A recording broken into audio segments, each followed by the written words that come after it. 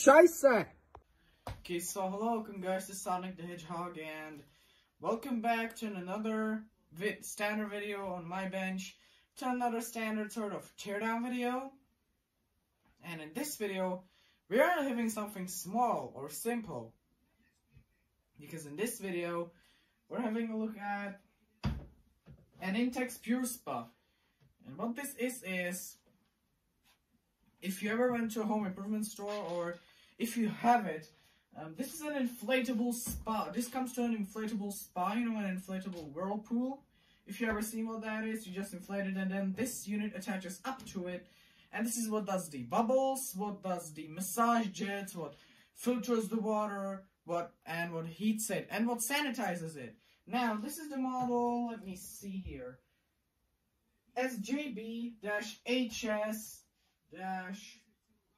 SJB-HS-20-1C. So, I searched up this model and there is no videos featuring it. There's absolutely nothing, so yeah. Now, most of the units I see online only have the air in them and the heater.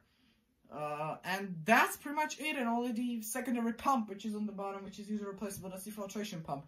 Um, basically, uh, this also has the massage jets, also has a sanitizer and all that, so, yeah, it also, no, it, all of them have that, but yeah, just as an info, um, yeah, there's even a model, I believe, which has a wireless panel, this one has it just mounted to this, uh, sort of, stem, but yeah, so, let's get over to the bench. Okay, so welcome at the bench, but first disclaimer, this isn't gonna be filmed on the usual phone holder and stuff because um, this thing is super heavy and super big. So just apology for that. Not that I have it cluttered with millions of stuff that can be cleaned up easily, but yeah, just ignore that fact and we shall just get on with this thing. So this is, so what we have here, as said previous, is an Intex Pure Spa. Let's have a look at the nameplate first. So it's the Intex Pure Spa, model SJB-HS-20-1C. A pretty unknown model, to say the least. When I did some Google searches, we'll talk about it later. Um, it's 220 to 240 volts because I live in Europe, exactly Czech Republic, but I won't tell my exact address, okay? 50 hertz, again, Europe, 2,600 watts, so 2.6 kilowatts. Now that's because it's got probably a electric heater in it. It's IPX5, um, caution, read the manual, some sort of QR code, CE, TUV Rheinland, certified. Don't throw it in the bin immediately after you realized you bought an inflatable hot tub, that's, hot tub that's gonna get damaged by a woodpecker in just a couple of minutes. Yes, it's notoriously, it notoriously happens in the Czech Republic that woodpeckers puncture these. It happened to us once. And from that point, we never bought an inflatable hot tub. I never had one as well. EAC certified, and blah, blah, blah, blah, blah, blah, blah, trademarks, um, and all that. Intex logo, logo at the top here. Hope I don't get copyright struck for showing that. But now let's have a tour around it. So on the front, you've got this column with the control panel. We'll have a look at that later. At the front here, you've got this plug. I know what that does. Now, this is the water in and input, and it looks like it's split up into different two chambers. I know what that does. I know what that's for. Uh, this is the air output. There was a flap supposed to be over this, but that sadly went missing. Uh, so yeah, I don't know where that is. Uh, when I seen it thrown out right next to our dumpsters, um, that was missing. Um, this uh, right here is the cap, is there some sort of cap on the air output, and I was wondering what the fuck is that? And Sonic was pretty dumb. It's really obvious. This thing comes with a hose, which goes into here, and you can and that means that you can use this this technological unit to inflate the hot tub. Isn't that good? I think it is a really good feature. Next here's the water output. And again split into two different pipes. I don't know what that's for anyways on the side here we've got this which hides what looks seem to be a, some sort of filter if you have a look in there there it looks like there's a hose or a cable running into a, some sort of plug and that goes into a, some sort of tank but a bit of an anticlimax because this doesn't unscrew. You have to unscrew four screws to take it out. It's just a handle. Yeah. On this side, you've got the drain. Right here, you've got the drain, and you can see me here. Hello. And this is some sort of plug. I think it's something to do with the air input. If you want to have a look at the drain, somebody's already drained it before me, which is good. Um, again, you can see it's got a uh, Phillips head, uh, screw head, Phillips head on it, so you can use a standard screwdriver, but, the, but like a Phillips free I would use for this to take it out. Now let's have a look at the control panel. By the way, on the back, there is nothing. There is just some sort of caps screwed on. I think that's something to do with the electrical stuff. And the mains cable, which I have already cut off. There was an RCD on it, but the RCD it was heat staked shut. So no way to open that. Uh, here you can see the control panel. It's got this acrylic cover on it so, so uh, to protect it from moisture. And on the panel, you've got the display, just a standard 7 segment display, LED display, because it uses light emitting diodes for the um, numbers. And Sonic, and yeah, I was just wondering, why do they have a smaller number? Is it for some sort of decimal point? And no, that actually is to show the value, which this is displaying degrees Celsius or liters or something, I don't know. Right below the display, you've got some indicators, such as the water jets, bubbles, filter, um, sanitizer, heater, and then you've got a single indicator LED right next to the power button. And next, you've got the power button, as said previously. You've got up and down, up and down arrows to set the set the stuff on here. You've got another settings button, but this is degrees Celsius slash degrees Fahrenheit to set if you're on degrees Celsius or degrees Frankenstein. Sorry, Fahrenheit. Um, right here, we've got the heater button. So this is to enable the heater. This button is very broken. I, I can feel it. I can push it, but it's broken. So that might be the point of failure on this. There might be more. We shall see when we open this up. Uh, this is this button right here is to turn on the water jets. This is to turn on the bubbles. This is to turn on the filter. And this is to turn on the sanitizer. So this is basically the smack bang unit, which has all of this stuff that the other ones don't. For example, the really common unit some sort of brown one similar to this has only the bubbles and doesn't even have the sanitization. So yeah, I got the Big Pants full whack unit, apparently. But that's good, because we'll see all the stuff in one. Anyways, let me open this up. Um, there is only four screws around the sides and it looks like the cover should lift up. But first, but first we got two questions first. Sonic, where did you find it? Simple! I was just driving on my bike right past our dumpsters here in the village, and this was sitting there, so I immediately, so I immediately um, uh, uh, bugged out my mom to take me there, and we put this into the car. It almost didn't fit, but we took it home. So yeah, and the second question, what do I expect inside of here? Well, I don't think there's gonna be really much. A control board, possibly a fan, most likely a vacuum motor, as I know from most of these things. Um, or a special blower. Uh, I think there will be a pump, definitely, a filter and a heater. Yeah. And some hoses. I don't think it will be really fill, filled, but I think it should have a temperature sensor. And if it's Intex, I think it should probably have flow meters. It should probably have a pressure sensor. It should probably have valves. Um, no, just, yeah, I don't think there will be really much inside of here. So yeah, let me get this thing apart and we shall see what's in here. I got a bit of a disclaimer for you. I'm doing this teardown blind because there's a big reason. There is no service manual everywhere. I did a search on Google and the first search result seems to be a service manual, but it actually is a fucking owner's manual. So it seems worthless, but if I click on the other page, there is some useful stuff in the technical data for the schematics and calculations and stuff. So that is actually useful. But as you'll see shortly, we there is nothing else useful. Owner's manual, owner's manual, owner's manual, owner's manuals everywhere. But then I magically find a search result which seems to be a, which, which seems to feature a service manual. Have a look, this one right here. Guide CMO, that seems like bullshit, but have a look. No service manual. Owner's manual. You can go fuck yourself. So yeah, no nothing anywhere. I open up more search results, owner's manual, owner's manual, E50 code fix, E90 code fix. This is a giant fail. Okay, so we got the cover off and first, I took all the screws out and it was a total pain in the ass to get the cover off. Besides, it was a complete pain in the ass besides that screw being hidden right under that cap.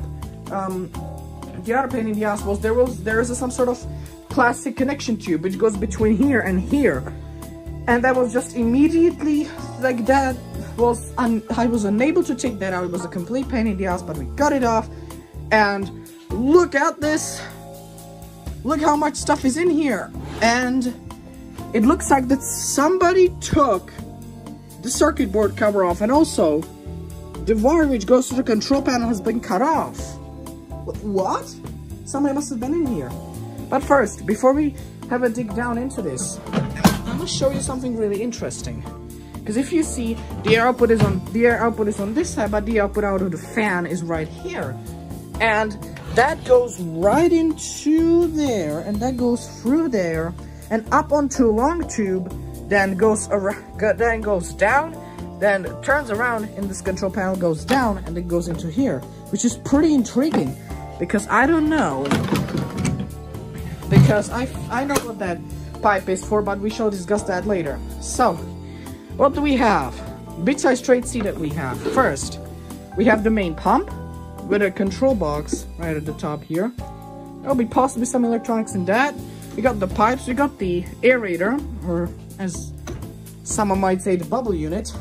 Um, looks like there's a flap down in there if you see. Yeah, there's a flap there. Uh, there looks like that there is the, maybe the filter. That looks into be the heater, and on the back is the control board. So, let's have a tour around the stuff that's in here. So first, let's turn this around to the back. This is so heavy. There you go. So, on the back you've got the control board, chuckload of relays. I mean, look, you've got one, one, two, three, four, five, six, seven, eight, nine, ten, eleven. No, one, two, three, four. You've got one, two, three, four, five, six, seven, eight, nine, ten, eleven relays. So yeah, let's have a look at what we have at the on the control board first. So the so on the control board we've got the mains power transformer, the mains transformer basically to transform the mains voltage down to a lower voltage in order uh, to power the devices on, to power the ICs. Now the ICs and the rectifier are possibly on the other side, but I'm not taking the board out and risking of ruining this entire thing because I want to keep this as some sort of monument or decoration item. Right here you've got some smoothing capacitors, you've got um, a voltage regulator because it's labeled U5, so it's a voltage regulator. Uh, then you've got a crystal right here for the microcontroller possibly. You've got a programming header, you've got a test connector, do not know what that does. You've got four relays up here, and it looks like that they're that they are in pairs of two, and that they are some then there's a circuitry to it. So to each sort of set of two relays, there is a fuse, two capacitors, an inductor, and an IC. And I don't have an idea of what that could be doing, but you can see that the same circuitry right here is mirrored over here. So take it basically that this is section one and section two. And next you've got a smoothing capacitor here. You've got, how is that labeled? I think that's a MOSFET. That might be a voltage regulator. Or they are both voltage regulators, I don't know. Um, and here is, what is that? Oh, that's a power resistor. Yeah, I can see a ceramic resistor in there. And here you've got two more capacitors, possibly for smoothing again is to be certified, of course. Now you've got these terminal blocks on here and a relay here. Don't know what that does. And then you've got a total of six relays here to switch different outputs. You've got chuckload of wires here. Now, by looking at this, this was definitely designed to be serviced and not just immediately tossed away when it fails. Because look, you've got labeling on the circuit board, A, B, C, D, blah, uh, H, G, F, E, J, I.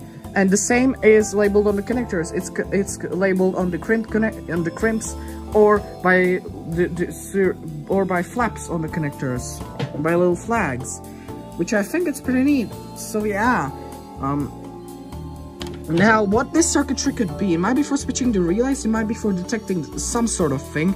I know, but let's have a look at the connector. So you've got flow 2, 84C, is that degrees Celsius? That's 84 degrees Celsius. Flow 1, 20 degrees Celsius to 40 degrees Celsius and 50 degrees Celsius. Um, you've got all these connectors. I don't have an idea of what those go to. More connectors. This seems to go down here, which goes down there, and connects to this heatsink, and connects to this part on the heatsink, and this part is a ginormous bridge rectifier. There's a small bridge rectifier right under there, if you're gonna have, if you're gonna see, it is right there. That black thing on there with the wires going into it. That connects onto here, the DC output goes to here. Now, Yes, uh, this connects here, so the DC output is there. That that goes to the relays. What the fuck? I don't get it. Um, Next, you've got a lot of cables going here. Now, this seems to be going up to here, which is the aerator. Um, let me move it out, out of the way a bit. No, I can't. Um, you've got, let me shine some light down onto this, that way we see it better. There you go. So, um, by the way, it's raining outside, if you noticed. Now, this isn't an electronical part. This is a spacer uh, with a screw in it. I don't know what that is for. Anyways, um, spiderwebs everywhere. Jesus Christ. Hope there won't be a giant spider living in this because I'll poop myself if that is gonna be the truth. Um, okay, so this is the main SIM port. Okay, connects onto there and the ground goes down here through there, around and goes behind there. But then I'm noticing there's a grounding point on the heater here, and that seems to... What the hell? What the fuck? That, that, that seems to go to there, and it seems to go down here into grounding block. But it doesn't seem to be connected to the mains ground uh, in any way. So what, is the mains ground going into there, buggering off possibly to the pump motor, and then the heating element is just going down there and it's ungrounded? What the fuck?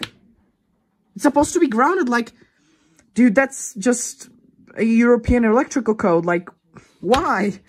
I don't know.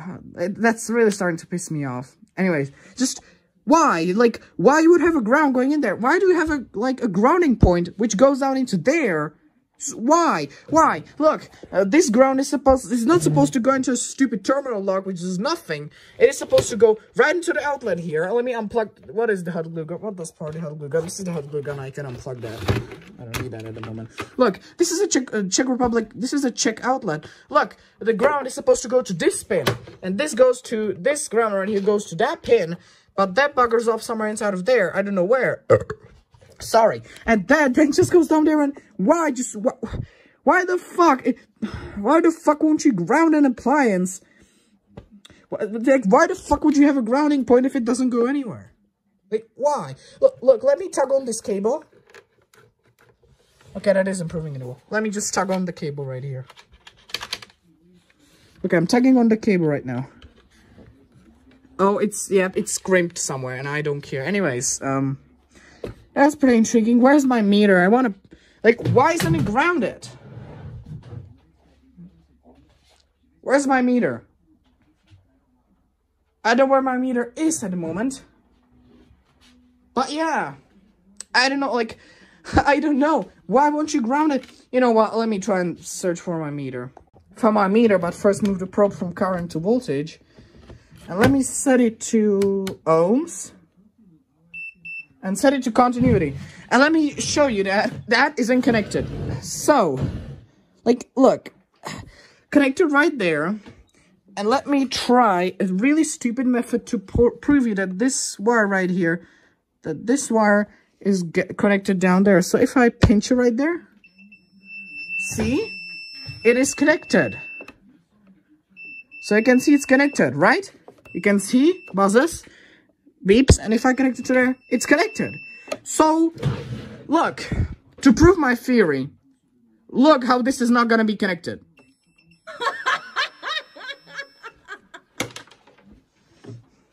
Alright. I'm so stupid. Well, Sonic, you suck. Oh, sorry, guys. See, you can't judge the wiring by just looking at it. Like, dude, that is, like, insane to, to do. Anyways, let's have a look at the actual parts of this that I see. So, you've got uh, stuff right here. So, this is the heater right here. You've got a T right here connecting it. You've got a some sort of ribbed hose. There might be an elastic hose of some sorts.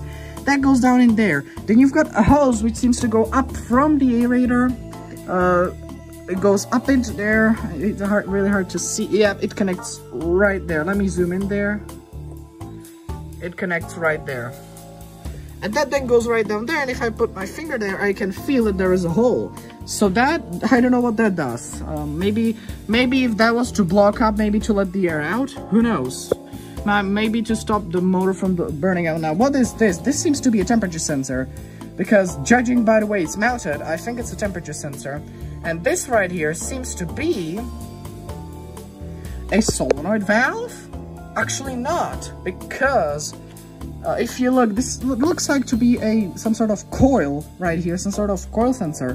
And that down there seems to be an, and looks like there's an impeller with a magnet on it, which then spins, which then the water spins the impeller, the magnet goes right past the uh, sensor right here, and it induces a magnetic field into it, which then gets picked up by the board right here, uh, which, um, yeah, basically it gets the magnet, basically, the impeller sp gets spun by the water, the magnets on the impeller induce a magnetic field into the in the coil, which gets converted to voltage, which then goes down and goes right there to the circuit board. So that's possibly a flow meter. I can see in another um, temperature sensor right there. Now, what is this? Yeah, that's a cable. Look at that chunky connector. Can I unscrew that in any way? No, I can't. But yeah, I think that that might be the filter. Who knows? There's a T right here. Um, let's have a look around the other side. So here's the pump motor. Let me let me turn this around again.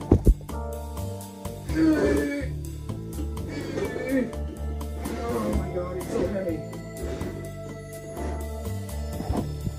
right in here, I can see that there's a hose which runs from the filter down into there, and I don't know what that is. Um, now this pump is split up right here and goes down there. That might go to the filtration pump. This is the pump housing for um, the jet pump. Right there is a flow meter. And here's a conjunction box, a terminal bo box for, for the motor. The motor will be right in there. Judging by its weight, by, by the weight of this thing, I think that well, I think that motor will be pretty big. Um, now, I think now the filtration pump is down there. Sorry, I won't flip this around to show you, but I swear there is a filtration pump down there. Um, now let's have a look at the air system. So, right here you've got the aerator, and in here, if you have a look, is a flap. And then you've got the air intake right here, and this is where the cap was, the mysterious cap the cap right here. That's what that is. Um, so let me flip this. There you go. So, right in here, if you want to have a look, uh, you know, it really, you can see right in there is a filter grate, and that I think must be a, one of the filters. And then there's a carbon filter right in here. Um, and that then goes into here, and I think that will have a vacuum motor in it, possibly. Uh, uh judging by the sound of these things, I think it'll be a vacuum motor. Now, it looks like that that plug is the only way to intake air. So, when I seen it, like, I don't know, where is it taking the air from? Because that plug is in place. So, uh, like, I seen it on display in a home improvement store, and that plug was in, so I don't know. Oh, idiot Sonic, stupid hedgehog. There's a grill right there, and there's a hole right on the other side if you want to see. Yeah. So, yeah. Um, so I think that that's all that we're basically gonna um, take out of it. Uh, so let me pause right here and um, I shall just study this thing for a while and yeah, so I shall do some studying on the web, maybe draw the schematic and yeah, I'll be here in a minute. Okay, so two painful hours of studying, drawing out stupid schematics and searching the whole Google to draw a complete blank I managed to figure out a lot of interesting stuff, but first things first. The motor terminal bo box. That hides a load of important stuff which we didn't find anywhere in here. So, let me show you. So first, right here is this big, big, big black potted box. It's a motor run capacitor. And that has a specific purpose because this is powered from a single phase outlet. Well, that's, you know, a good thing because you don't have to have a three-phase power, power outlet or a two-phase one. But that's a problem because if you don't use a brushed motor like uh, the bubble unit has, um, an induction, a three-phase induction motor, if you want to use a really powerful one, they aren't such powerful um, uh, shaded pole motors to run uh, such pumps. So um, that's why I have to use a run capacitor because um, induction these big induction motors with no shaded pole are two-phase or three-phase and you have to uh, uh, add in another phase by using a capacitor like a shaded phase or a fake phase anyways um right here is the control board, and on the control board there is the same power transformer as here. We've got a trimmer, I don't know for what, what that trimmer is. A lot of capacitors, you've got two big power resistors here, a relay. You've got three MOSFETs around here, actually four MOSFETs. Um, a some sort of uh, IC. On the other side, there's more ICs, but I won't take it out. Um, and right here is a thing that raised my eyebrows because when I was looking through this and looking at the circuit board, the pump wasn't connecting up to any of these relays. So I was wondering, well, how the fuck is it switching on the pump? And also these relays are a bit too puny to run such a pump. So this is what this is for. Yes, uh, that's a contactor which switches the pump on and off. So yeah, uh, that's the uh, terminal block, uh, terminal box away. So let me tell you the values first. So the heater is 2,200 watts. It's a standard flow flow heater, something similar, something similar to similar to what you would find at a coffee maker. Um, next, um, the uh, aerator or the bubble unit motor is 1.1 horsepower and the jet pump motor right here is uh, 0.95 horsepower. Fun fact, this entire thing with the water in it weighs over a ton. And I and there was no kind of info on how much water is in there. Uh, so I figured it out pretty easily. So uh, your standard physical calculations or um, conversions say that there's a standard rule that one liter equals one kilogram or one kilogram of weight equals one liter of mass. So, um, if you've got, uh, if you got to calculate everything, so this thing weighs around 25 kilos. So, like, let's just calculate it, okay? So, the entire thing with four people in it weighs exactly 1,196 kilos. So let's count up, so basically let's figure out um, how many liters of water can you fit into the tub. So if the entire thing weighs, with four people in it, and with the technological unit, exactly 1,196 kilos, let's figure out what everything weighs. So first, the, technology, the technological unit comes out at around 25 kilos. So minus 25, that's exactly 1,171 kilos and the and the standard um, average weight of a person is from is 70 to 90 kilos. So let's do an arithmetical average which is 70 plus 90 equals 160 divided by 2 is 80 so the average weight between in that range is 80 kilos. So times 4 is 320 so 1171 uh, kilos minus minus um, 320 kilos is how much? Um, 751 kilos.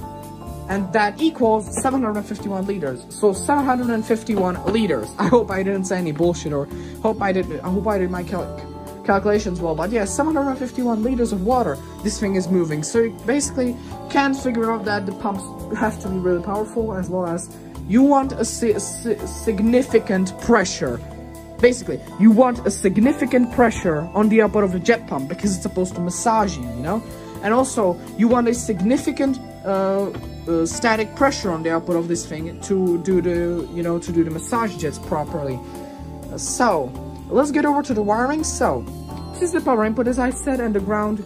And the ground actually goes from here to the heater, and from the heater, it goes by this tap and goes down to the grounding block if you would need to ground something else in the vicinity. I don't know why I would need that, but it's a not cool feature.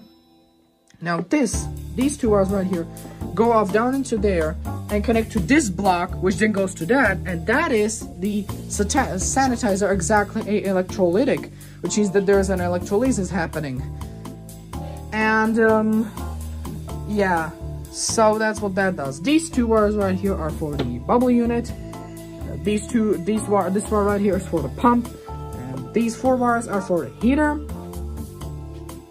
Next, uh, this wire, these this these two pairs of wires go down to the big bridge rectifier. The small bridge rectifier uses this, which runs up to here. So that the, so the small bridge rectifier uh, goes right here. So that connects to by why these two crimp connectors, fast crimp connectors, to that, which then go loops us somewhere else. You've also got some wires going from that. And you've got the DC output right there. And that's the DC output from the smaller one. Or the input, should I say. The DC output from the smaller bridge rectifier is here and from the bigger one is right here. And this goes to the filtration pump and the rest I don't know. Oh yeah, I know. This is to the control panel. This is the flow meter too. The one right here. This is the flow meter one. Is the same one right down there. Um, and then you've got 80 to 84 degrees Celsius, which is somewhere in the heaters. I believe it's on the other side of it. And then you've got these two, which uh, then you've got the 20 to 40 degrees Celsius and 50 degrees Celsius, which I'll show you later. Um, yes. What else I'm thinking? Let's get over to, shall we get over to the schematic? Or do I have anything else to tell you? I'm really thinking right.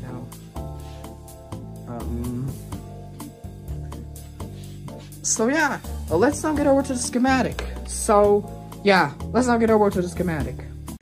Okay, so welcome to the schematic part of the video. Um, yeah, I think that this is the most interest where this is the most part. This is the part where most people will be interested because on the web there is only the owner's manual. There is nothing like the service manual, no schematics, no teardowns, no fixes, no nothing. So I was on my own right here. This is incredibly hard to put together. So First of all, the sources of information that I had. First was my brain. Second was a physics education uh, student's book for middle schools and high schools, which that's where I learned the symbols, schematic symbols for uh, the water and air systems. I knew the ones for um, the electrical, but I didn't know the ones for the uh, water and air. Third was the owner's manual, and fourth was this thing itself, and that splits up into different pairs. That's um, tugging on the wires and figuring out where they go. And second, taking different parts out and figuring out where the wires go. And third, examining the entire thing. So, we got, so with all that stuff together, I opened up Sonic CAD again. And um, we shall start over going through the schematic. So, we start over with the AC in, 230 volts, 50 hertz. So we've got live and neutral, and those go into the mains input. PE goes through here to the heater, and that then jumps off to the PE2, which runs down there, down here into the grounding block. Next, you've got the sanitizer outputs live and neutral that go that goes into the electrolysis transformer, which then goes into the electrolysis sanitizer. Um, next, you've got the aerator output, which runs all the way up to here, and that's the vacuum motor uh, right here for the aeration. That's the bubble unit, obviously. Uh, next, you've got uh, the jet pump, which goes down here. And that first, which there's live neutral, which goes down here first into the control PCB, which also features the capacitor. I didn't draw the three faces out right here because I didn't want to. And that then connects to the motor. And it's not grounded, which is a bit of a problem. And next you've got the heater terminals, the neutral connects right onto here, and then you've got 1, 2, and 3, which are basically, 1 and 2 are center taps, and um, 3 is the full power. So basically 1 is low, 2 is medium, and 3 is high. And I, by the way, and I, by most of the resistors I drawn out in uh, the standard IC European style, but I did this one on the in the American style because I think it would be much easier uh, to do, to feature the center taps right there. Um, of course, you've got the P coming in here and the PE2 going to the block. Um, next up here, you've got the we've got you've got the connections that go to the control panel that's VCC which supplies the voltage ground which is the minus data plus and data minus which uh, do the communication between the control panel and the uh, the control board um, next you've got the flow meter one which uh, is right on the output of the filtration pump you've got the flow meter 2 which is on the output of the heater you've got the 84 degrees celsius um, temperature sensor which um, is connected uh, which is uh, which is a overheat sensor for the heater. Um, next, you've got the NTC. We've got another NTC, the 22 degrees Celsius to 40 degrees Celsius. This is the water input. 50 degrees Celsius is the water output.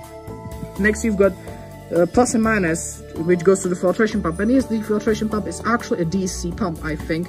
Next, you've got the full bridge rectifier, which you've got live and neutral in, which goes into that, and then you've got the DC out, which goes to the DC input on the circuit board, exclamation mark because I don't know if that's the true, and this exclamation mark because if I, I don't know what that is.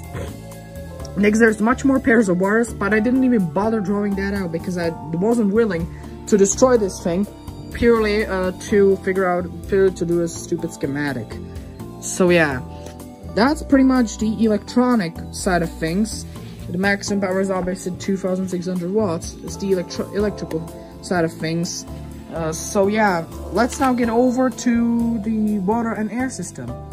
Okay, so now the water plus air systems schematic. So first, we shall start over with the pipe. So the water input see was divided in this way. The top bigger part is for the jets and the bottom one is for the filter and heater.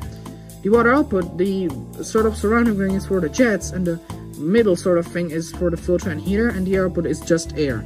Uh, again, drawn in Sonic CAD version 1.0.5. Um, so first of all, the aerator system. So the air goes in through here, there's that cap on there, the mystery cap, which I didn't even bother drawing because I think it doesn't make sense right in here. Uh, next you've got uh, the filter one, which is which is which is basically just the standard grate which we've seen in there. Next you've got the carbon filter, which um, is on the input of the fan, uh, of the vacuum motor. Um, so I'll put up a picture, uh, if I don't forget I'll put up an image on the screen for you also that way you know what a, what a carbon filter looks like. Then you've got the fan which is a vacuum motor. Um, next of all you've got the check valve which is there right behind the motor to stop any water from going into the motor because if it was to go into the motor it would cause a problem like a big problem and then you've got the hose right here which taps off here which I do not know what that does next it goes out and then it goes into a pipe which goes up the control panel column then turns around goes down and then goes through a diaphragm valve on the output and then it go because there's a diaphragm and then it goes into the air out. Get it? So this entire system right here this entire block is the is so that way if water was to go in here the flap should stop it. If the flap rotted away it would go up. And if the and they and the pipe is just long enough so that way the water pressure won't be and the atmospheric pressure in the pipe won't be enough to let the water in. And if it was to pass that the flap would definitely stop it because this is plastic flap valve with a spring on it. So it should be able to stop it in any kind of situation. So basically the check valve this weird loop of this weird pipe loop and the diaphragm valve these three bits are purely to stop the water going in in any circumstances. So be sure, if you've got an Intex PureSpa, be sure to check if all this works, because if all this was to break break down, well, you could have, be having a nice sort of hot tub party, and suddenly you would hear a bang and the fan would immediately stop because water would go in there. So be sure to check if that is okay. So, we, de we described that. Now let's have a look at the water. So, water system. So, the water input goes through the main filter. It goes into here and it splits out into the, and the water pipe basically splits out into these two things. So first, the jets are pretty easy. Just goes into the jet pump and from the jet pump it goes out, goes down here and out through the water, through the water output. And again, these splits I just drawn it like this. It, it is way easier. Now next the filtration and the heater is quite a bit more complicated. So first it goes into the filtration pump and then from the filtration pump it goes into a flow meter named flow 1.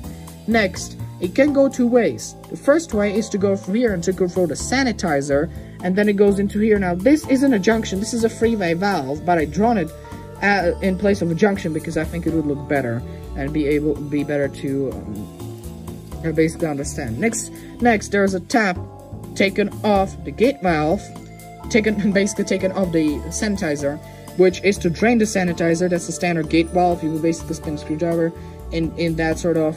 You will basically um, spin the screwdriver. Um, in uh, that sort of Phillips head thing that was on there, and you should be able to drain it, and then that goes out, out to the water drain. Next, this right here outputs. You can see that there's the other part, which then this goes through the temperature sensor, which is the 20 degrees Celsius to 40 degrees Celsius. That then goes into the heater, and then from the heater, it goes into the flow 2 flow meter. Next, it goes into the temperature sensor. Uh, the, uh, I forgot to label it, the um, 50 degrees Celsius right there. and then goes out, goes into the freeway junction again, and goes through a check valve again. Yes, there is a check valve on there.